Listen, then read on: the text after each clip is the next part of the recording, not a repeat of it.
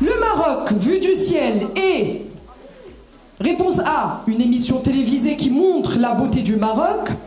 Réponse 2, un jeu sur le Maroc. Réponse C, un journal de la presse électronique marocaine. Et réponse D, une radio marocaine.